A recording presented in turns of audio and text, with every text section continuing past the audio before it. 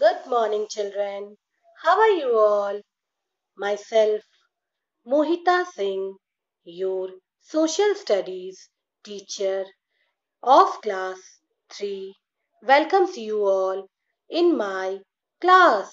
Student, as you all know that your unit test 1 is going on.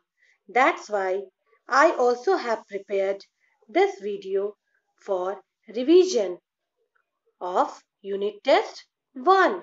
Okay children, in this video I will tell you about the patterns of questions which will come in your unit test 1. Okay, in your unit test 1 student only multiple choice questions will come from chapter 1 and 2. Okay, but students I have taken questions from chapter 1 to 7. Okay. Only to discuss the patterns with you all. Okay. So, in your unit test 1 student, you will have only 20 questions from chapter 1 and 2. Okay. And you have to do take the correct answers. Okay. So, our first question is students, Andaman and Nicobar Islands are in the a. Arabian Sea, B. Bay of Bengal, C. Indian Ocean, D. Southern Ocean. Our answer will be B. Bay of Bengal. Andaman and Nicobar Island are in the Bay of Bengal. Okay. Second question is the head of the union government is the A. President, B. Governor, C. Prime Minister, D. Finance Minister. Student, our answer will be A. President. Okay, the head of the union government is the President. Okay children, now come to question number 3.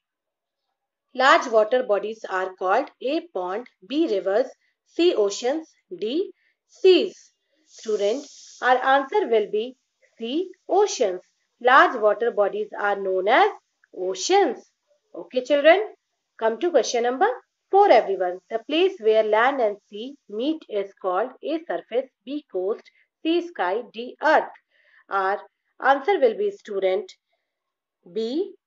Coast. Okay, the place where land and sea meet is known as coast. Okay, children, come to question number fifth, everyone. The southern part of India is A or an A. Island, B. Peninsula, C. Delta, D. Valley. Our answer will be student B. Peninsula. The southern part of India is a peninsula. Okay, children. Now come to question number 6. Everyone, the head of the ministers in the central government is called A. Prime Minister, B. Chief Minister, C. Governor, D. Health Ministers. Student, our answer will be A. Prime Minister. Okay, the head of the ministers in the central government is called as Prime Minister. Now come to 7 number question. People in eastern and southern states mostly eat A. Wheat, B. Rice, C. Maize, D. Barley. Student, our answer will be B. Rice. People in eastern and southern states mostly eat B. Rice. Okay children, now come to question number 8. The most popular dress of Indian women is A. Bakhu, B. Salwar Kameez, C. Langa Choli, D. Sari Blouse. Student, our answer will be D. Sari Blouse. The most popular dress of Indian women is sari and blouse. Okay children, now come to question number 9. Nagpur is famous for A. Apples, B. Bananas, C. Lychees, D. Oranges. Answer will be student D. Oranges. Nagpur is famous for oranges. Okay children, come to question number 10 everyone. Which of these is a national festival? A. Holi, B. Independence Day. C. Bihu. D. Diwali. Student, our answer will be here. B. Independence Day. Independence Day is a national festival. Okay, children?